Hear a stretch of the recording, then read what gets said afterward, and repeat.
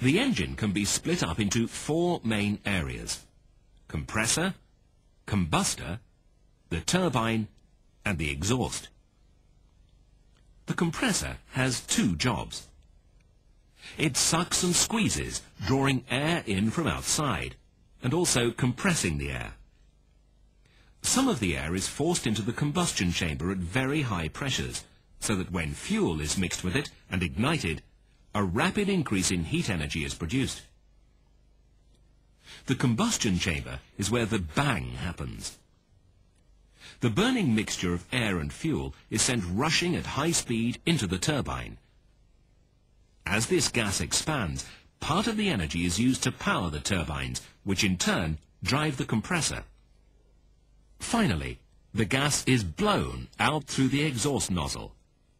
It has lost some of its energy through the turbine, but has enough left over to accelerate through the nozzle, providing a fast-moving propelling jet stream out of the back of the engine, and therefore, by reaction, creating an equal and opposite forward thrust. The compressor does this by having both rotating and stationary blades, or rotor and stator blades.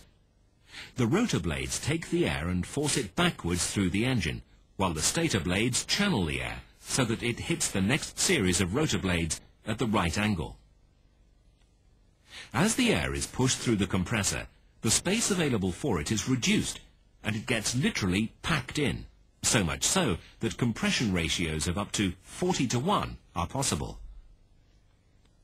The compressor is driven by the turbine. One turbine can drive the whole compressor, but now there are often two or three turbines in an engine each with a separate shaft that rotates a different section of the compressor. The fact that the sections can then rotate at different speeds means it is easier to maintain the correct overall flow of air through the engine, and the entire engine can be made shorter and stiffer. When the air reaches the combustion chamber, it's at a pressure approaching 600 psi, and it's travelling at more than half the speed of sound. Fuel is difficult to burn under these conditions, so a combustion chamber provides the correct environment. An area of more slowly moving and swirling air that is sprayed with fuel. This mixture will ignite, and the increase in heat energy is quite considerable. The burning gas can be as hot as 2,100 degrees centigrade, and at this sort of temperature, the metal the turbine blades are made of will melt. However, cooler air continues to be mixed with the burning gas to lower its temperature before entry into the turbine. And more cool air that had not been taken through the combustion chamber but diverted for cooling purposes brings the operating temperature of the turbine blade down to a more manageable 1000 degrees or so. In some ways, the turbine is the compressor in reverse. Nozzle guide vanes channel the gas onto the turbine blades, which are shaped so that the gas flowing over them is used to generate the optimum power. The blades are slotted onto a disc which rotates the shaft that is connected forwards to the compressor. Often, as well as driving the compressor, the turbine will also provide ancillary power to even drive a propeller. It is vital that turbines are perfectly designed and manufactured just this one stage, the high-pressure turbine can generate up to 70,000 horsepower, at which point the blades will be spinning at 1,500 feet per second. That's over 1,000 miles per hour. So everything must be done to ensure that the passage of gas through the turbines is as smooth as possible. Similar care is taken as the gas leaves the engine through the propelling nozzle. It is these exhaust gases that provide the thrust to power the engine, so essential that they are propelled from the engine at exactly the right speed required by the aircraft. A completed engine is of course a rather more complex affair, once the noise suppression, pollution reduction, cooling, lubrication, electrical, fuel and other systems have all been added. But the four sections of the working cycle remain unaltered. The compressor sucks in the air and squeezes it. The combustor ignites the fuel and air to produce the bang, that explosive expansion which forces the gases into the turbine. The turbine drives the compressor, and the exhaust blows the gases through the nozzle to provide the thrust. Some engine parts, when seen on their own, can appear grey and immobile, even dull and uninteresting. But appearances can often be deceptive. The jet engine was invented in the search for speed and power, and this component will soon be breaking the sound barrier.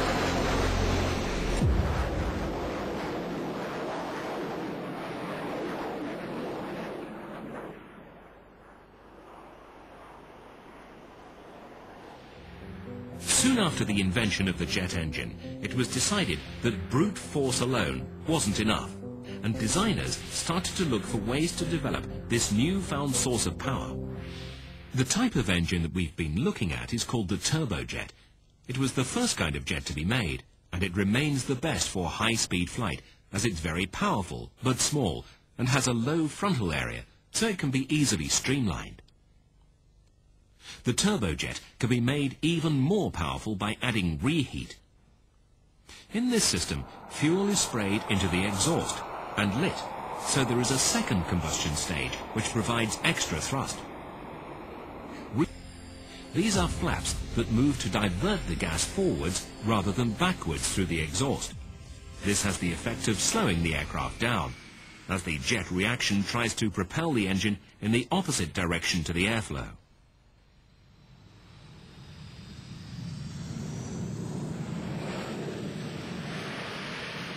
A development of the turbojet is the turboprop. This has an extra turbine which, through a gearbox, drives a propeller. Aircraft powered by a turboprop are not as fast as those powered by a turbojet, but nevertheless, the turboprop remains a very efficient and economical engine. If the propeller is removed from a turboprop, then the resulting engine is called a turboshaft the shaft is coupled to a gearbox, and through this it can drive a helicopter rotor. Much of the latest development, however, has been done on the turbo fan. Here, only some of the air is fed through all the compressors, the combustor and the turbines. The rest is partially compressed and is bypassed around the hot core of the engine. This cuts down the engine noise as it reduces the overall speed of the exhaust jet stream. It also makes the engine very economical, since it's aerodynamically more efficient to have a lot of air moving relatively slowly, rather than a little air moving relatively quickly. At very high speeds, to provide the thrust needed, it is necessary to have a small amount of air moving more rapidly. This is why the turbojet is used for supersonic and high bypass ratio turbofan for subsonic aircraft. An ex the engine takes in air and pushes it out backwards, thus setting up a jet reaction to push itself forwards. The principle of how a jet engine works, suck, squeeze, bang, blow. That's simplicity itself.